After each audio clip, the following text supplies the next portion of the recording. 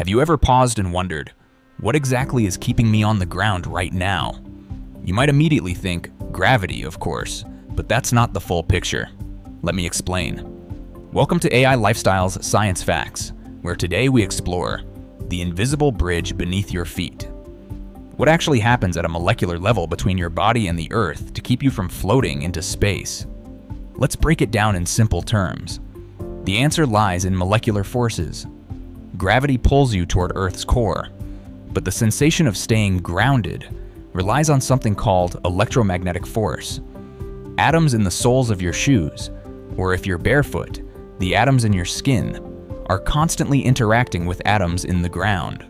As their electrons move and generate electromagnetic forces, this interplay of charges prevents the atoms from collapsing into each other.